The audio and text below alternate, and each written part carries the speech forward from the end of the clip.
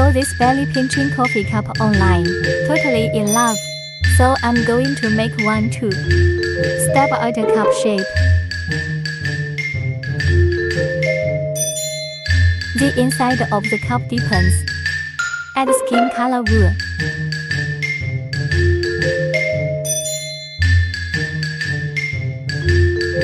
There must be coffee in the cup.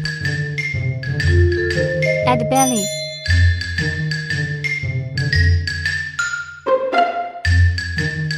Step out navel.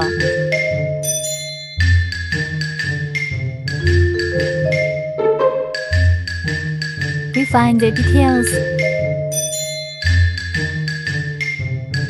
Make arm.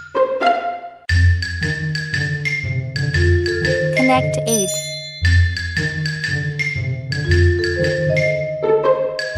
Add more colors.